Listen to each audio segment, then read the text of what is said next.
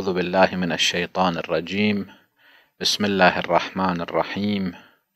الحمد لله رب العالمين.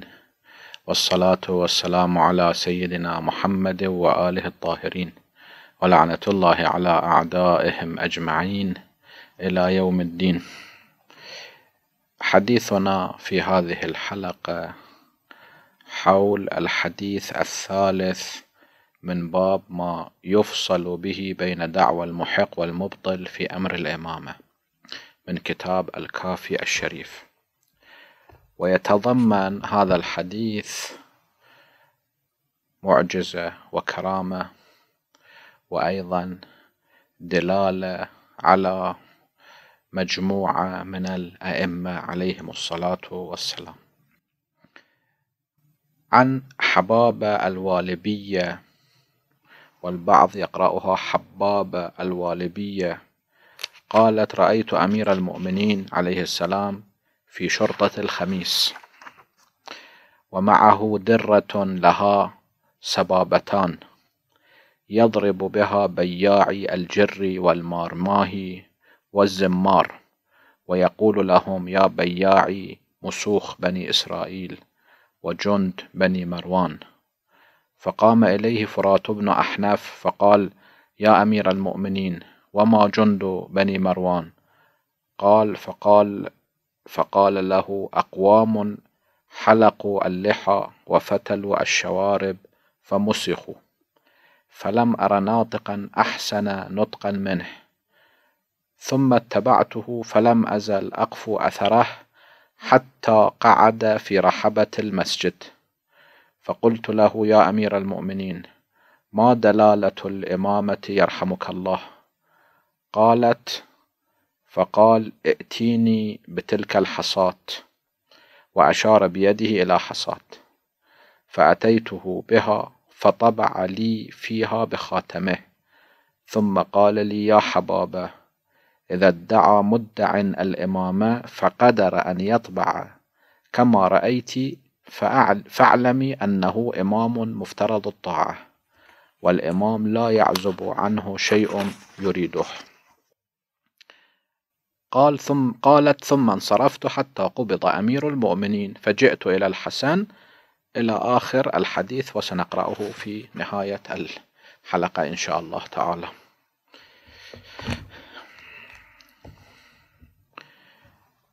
الأنبياء والأئمة عليهم الصلاة والسلام.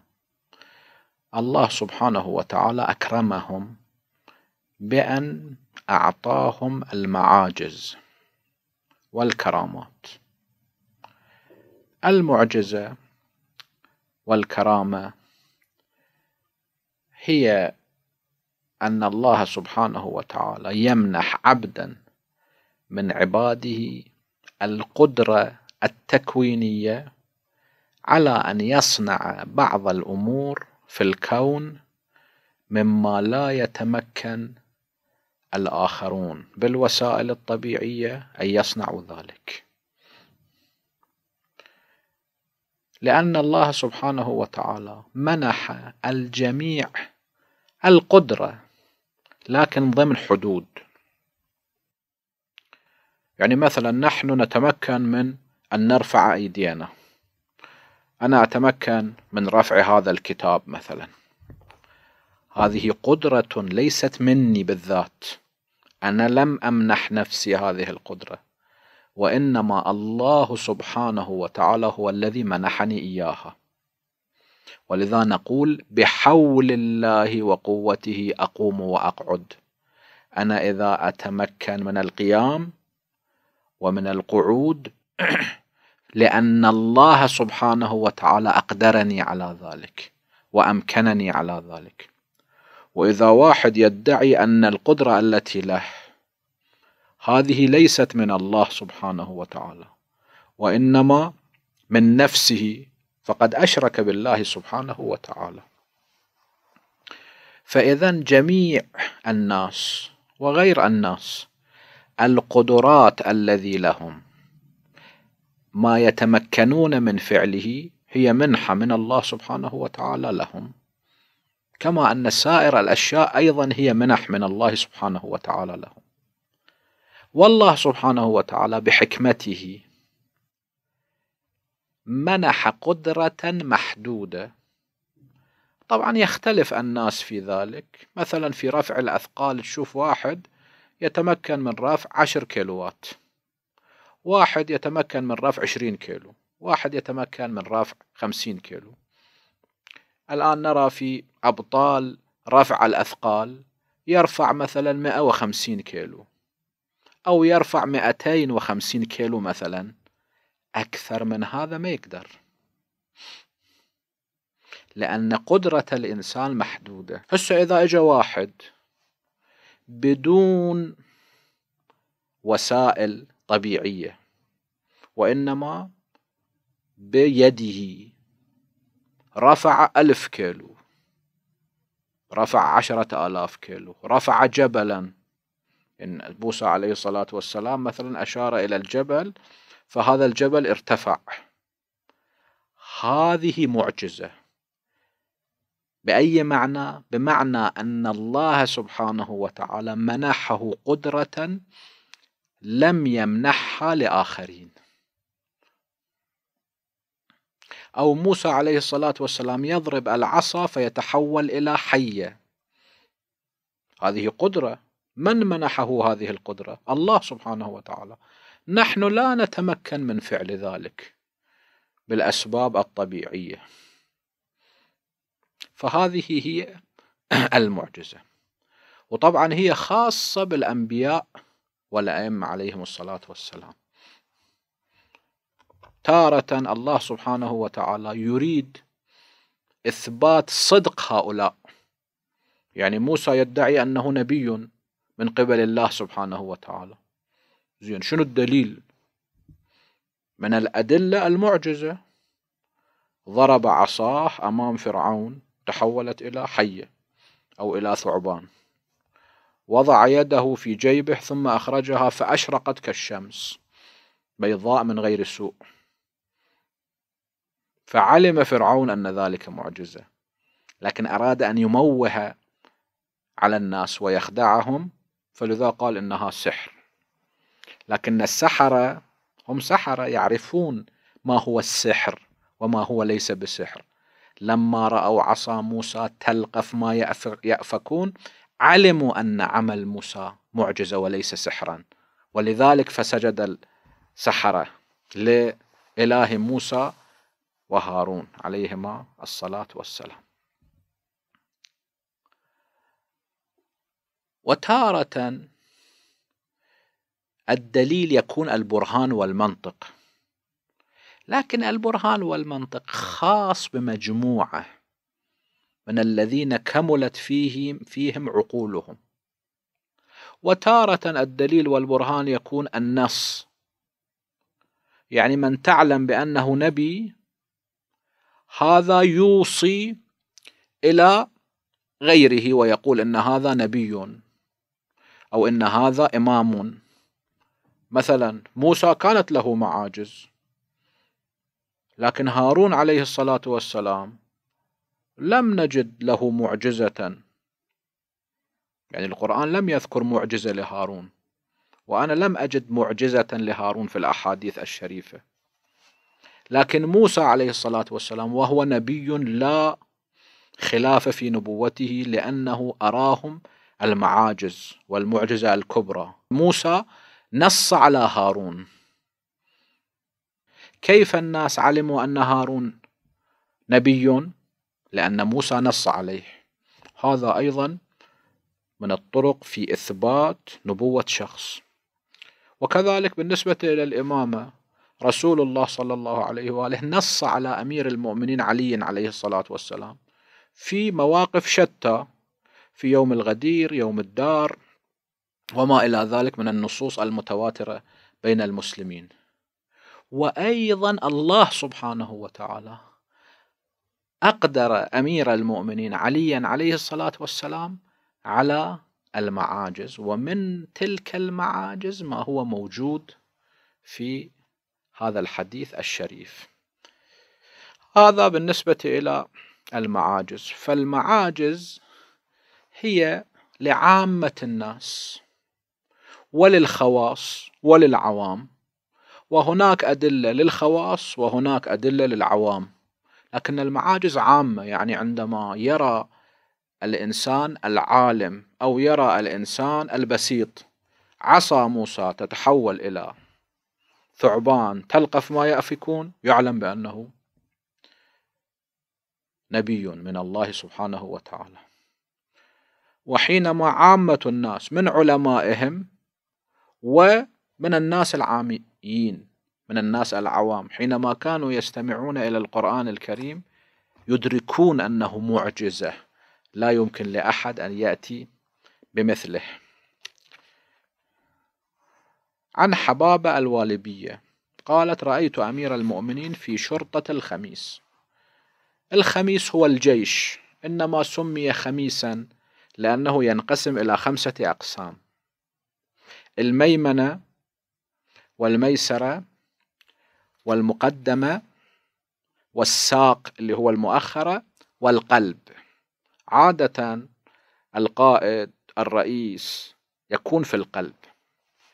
فهذه خمسة أقسام للجيش. وهناك مجموعة من الجيش بتعبير اليوم فدائيين. هؤلاء يسمون بشرطة الخميس. يعني شرطة الجيش. هؤلاء يكونون في أوائل المقدمة لأن مقدمة الجيش معرضة. فهؤلاء فدائيون.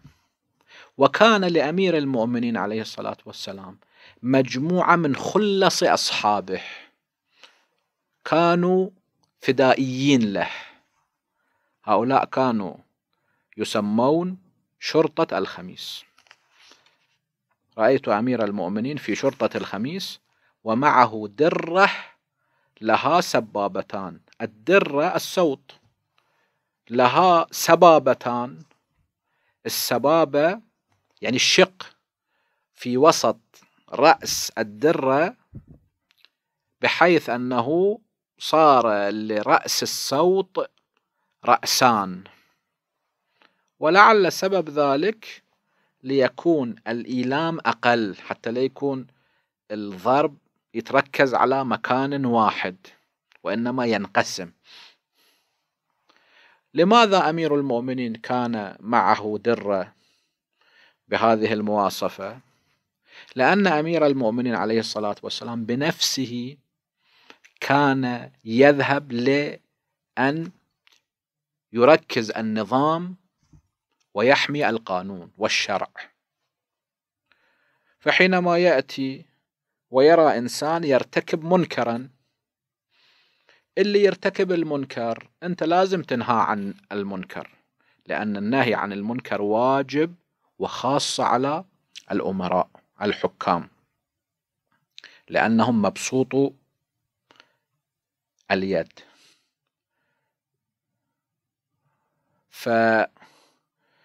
فالمرحلة الأولى أن بلسانك تنهاه. إذا ما فاد بيدك تنهاه. يعني واحد يرتكب منكر تقول له لا ترتكب المنكر. لكن ما دار بال أنت بيدك بالقوة تمنعه عن ارتكاب المنكر. تشوف واحد يريد يقتل له إنسان. أنت باللسان تقول له لا تقتل مظلوما. أنت ما لك حق تقتله. ما بفايدة. يريد يرميه أنت تهجم عليه وتنزع السلاح من يده مثلا. هذا النهي عن المنكر باليد. هذا الأمر الأول. الأمر الثاني بعض المنكرات هي جرائم وكل منكر جريمة. قد يكون فيه عقوبة. العقوبة قد تكون بالتعزير زين مرة أنت تجي هذا المجرم تجيبه إلى المحكمة وتشكل محكمة وتحكم عليه هذا في إجراءات ويطول وفي مشاكل. وتارة الحكم يكون فوريا. وتارة أمير المؤمنين عليه الصلاة والسلام كان يحكم وينفذ الحكم فورا كما أن رسول الله صلى الله عليه وآله كان يفعل ذلك. فأحيانا شوف واحد ارتكب جريمة يستحق عقوبة وعقوبته التعزير. بدال ما هسه نجيبه نوديه إلى دار الإمارة أو إلى المحكمة ونشكل محكمة ونحكم عليه. ثم بعد ذلك ينفذ تنفذ العقوبة عليه. فورا هناك في نفس مكان مسرح ارتكاب الجريمة هو الحاكم القاضي يصدر الحكم وينفذه بنفسه كان يعزره بضربة أو ضربتين مثلا. هذه كعقوبة له. أحيانا الأمر الثالث يكون ردع لئلا يكرر ذلك. فلهذا السبب كانت بيده الدرة وأحيانا بهذه الدرة يضرب من ارتكب منكرا أو يهدده بها لضبط النظام ولكي الناس لا يرتكبوا المنكرات.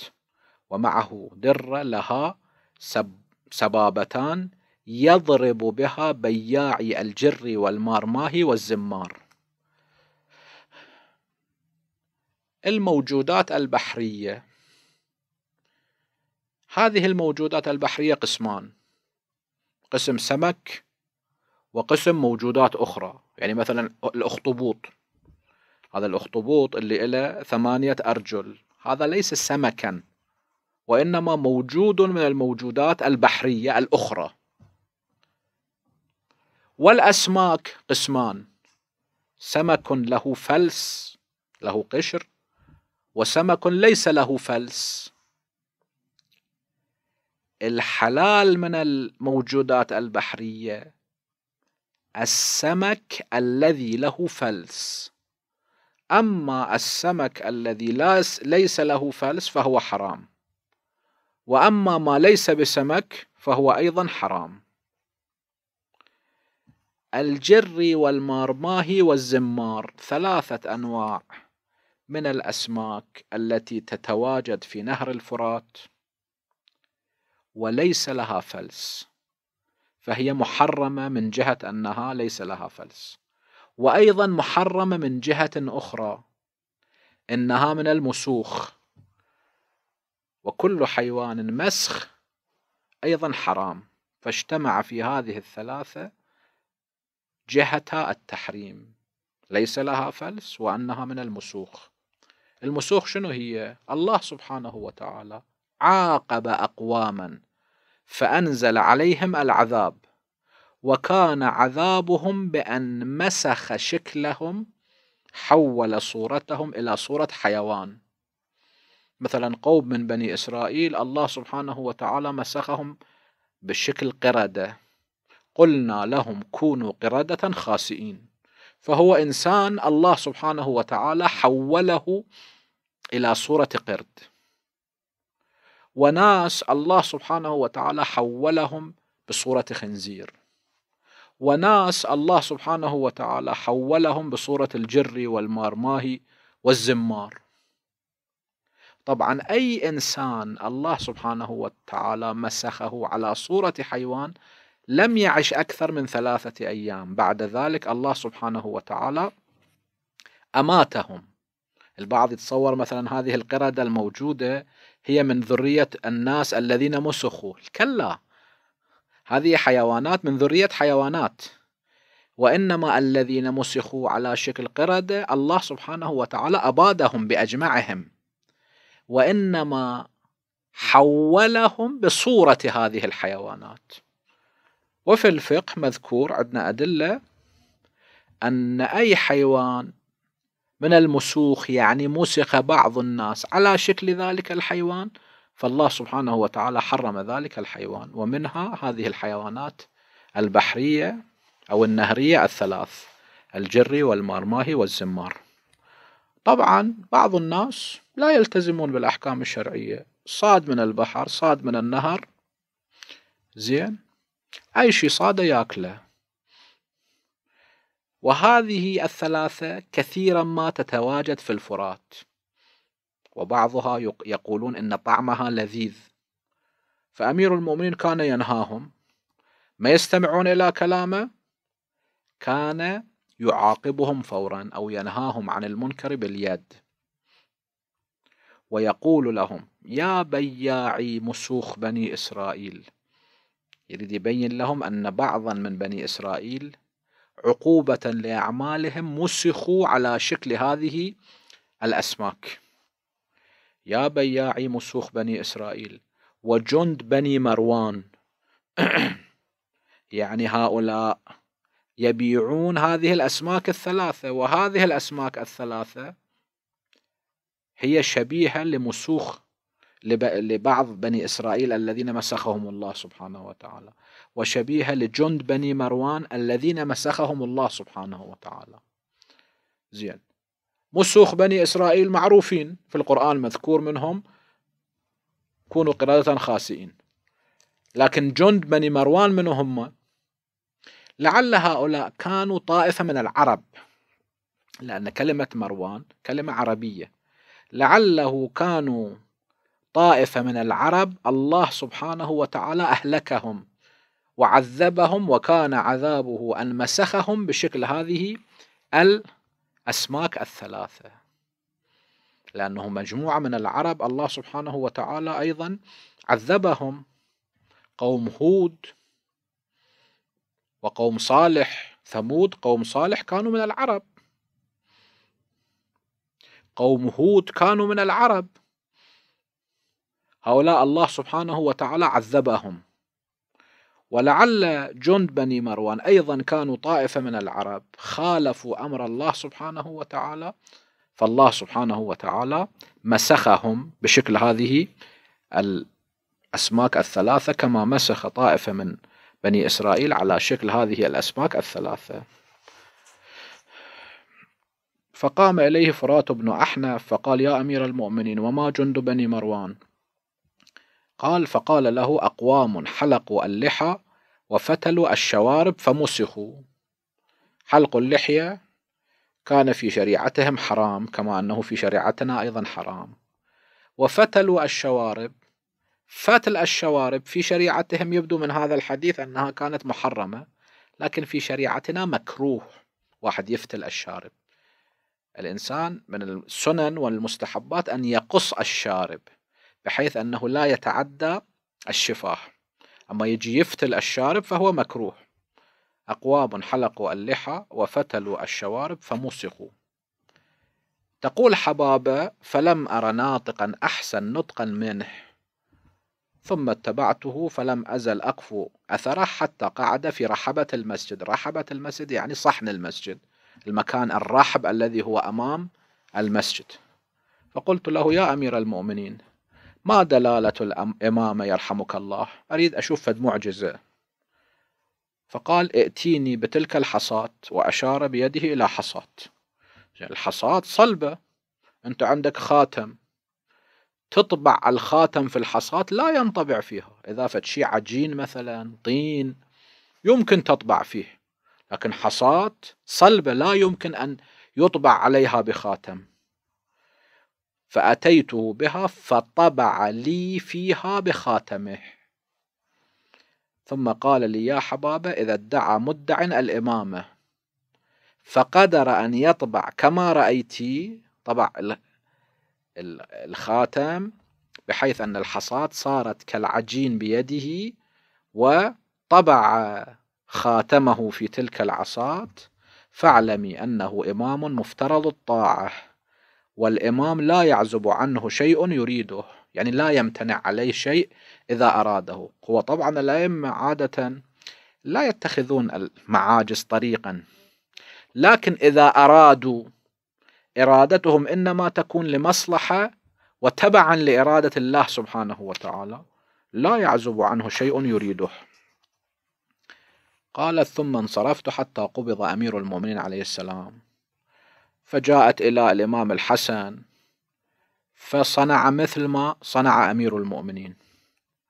ثم جاءت إلى الإمام الحسين عليه الصلاة والسلام فصنع مثل ما صنع أمير المؤمنين طبع على الحصاد. هي صارت عجوزة كبيرة السن ختريرت. ثم أتيت علي بن الحسين وقد بلغ بي الكبر إلى أن أرعشت لأن بعض الشيبة يصابون بالرعاش بسبب ال... بسبب كبر السن وأنا أعد يومئذ مئة وثلاث عشرة سنة. أو وأنا أعد يعني أعد من عمري مية وثلاثة عشر سنة. طبعا واحد عمره مية وثلاثة عشر سنة يعني قد بلغ من الكبر عتيا فرأيته يعني رأيت علي بن الحسين راكعا ساجدا مشغولا بالعبادة. انتظرت؟ طال الأمر فيئست من الدلالة. فأومأ إلي بالسبابة أشار إليها في الصلاة أو بعد الصلاة فعاد إلي شبابي. ممكن ذلك؟ نعم إذا الله سبحانه وتعالى أراد ذلك ليش مو ممكن؟ يمكن ذلك. الله سبحانه وتعالى في الروايات التي روتها الخاصة والعامة أرجع عجوزا من بني إسرائيل إلى سن الشباب وتزوجت موسى عليه الصلاة والسلام. فالله سبحانه وتعالى إذا أراد ذلك لا يمتنع عليه شيء. هي نفس حبابة الوالبية حسب هذا الحديث عاشت بين 192 سنة إلى 251 سنة لأنها أدركت إلى الإمام الرضا عليه الصلاة والسلام. ممكن ذلك إذا الله سبحانه وتعالى أراد؟ نعم ممكن. شو المشكلة في ذلك؟ إذا هي معجزة والله سبحانه وتعالى قادر على كل شيء وقادر أن يمنح أولياءه القدرة على ذلك فلا محذور فيه. هسه واحد يجي يستغرب من المعاجز هذه من غلبة الحالة المادية والفكر المادي وأن كل شيء هو المادة. أما الإنسان المؤمن يؤمن بالمعاجز. إذا ثبتت بدليل صحيح. فعاد إلي شبابي. فقلت يا سيدي كم مضى من الدنيا وكم بقي؟ يعني سألت أني كم سنة عمري؟ أني أعد عمري 113 سنة. بس كثير من الأحيان الإنسان هو ما يدري كم عمره. خاصة سابقا هسه الآن أكو هويات وأكو وثائق. سابقا تسأل واحد إيش قد عمرك؟ يقول ما أدري بين الخمسين وخمسة وخمسين بين الستين وخمسة وستين. هي كانت تعد 113 سنة بس يمكن أكثر. كم مضى من الدنيا وكم بقي؟ فقال أما ما مضى فنعم أقول لك. أما ما بقي فلا أقول لك. الماضي نعلمه أما المستقبل بإذن الله أيضا نعلمه. لكن لسنا مأذونين بأن نقول ما يجري في المستقبل. وأيضا يمكن أن الله سبحانه وتعالى يغير التقدير لأن كل شيء بيد الله وقد بر تفصيل ذلك في باب البداء. الله يقدر ثم يغير التقدير كما قدر عذاب قوم يونس ثم غير ذلك التقدير. ثم بعد ذلك الإمام زين العابدين طبع عليها ثم أتت إلى الإمام الباقر فطبع عليها على الحصاد ثم أتت إلى الإمام الصادق فطبع على الحصاة ثم أتت إلى الإمام الكاظم فطبع على الحصاة إلى أن في أخير الحديث ثم أتيت الرضا عليه الصلاة والسلام. إمامة الإمام الرضا كانت في سنة 173 وشهادته في سنة 202 إذا في أول إمامة الإمام الرضا قد رأته. فعمرها تقريبا 192 سنة يصير. وإذا في أواخر إمامة الإمام الرضا عليه الصلاة والسلام رأته فعمرها تقريبا يصير 251 لأنها التقت بالإمام زين العابدين ما ندري أنه في أول إمامته أو في أخير إمامته. لأن إمامة الإمام زين العابدين كانت في سنة 61 وشهادته في سنة 94 ثم أتيت الرضا فطبع لي فيها. وعاشت حبابة بعد ذلك تسعة أشهر على ما ذكر محمد ابن هشام. بعد ما عاشت أكثر من ذلك الله سبحانه وتعالى أراد أن يكون ذلك إلى هذا المقدار. نسأل الله سبحانه وتعالى أن يزيدنا علما ومعرفة بمقامات الأنبياء والأئمة. هذا وآخر دعوانا أن الحمد لله رب العالمين. وصلى الله على سيدنا ونبينا محمد وآله الطاهرين.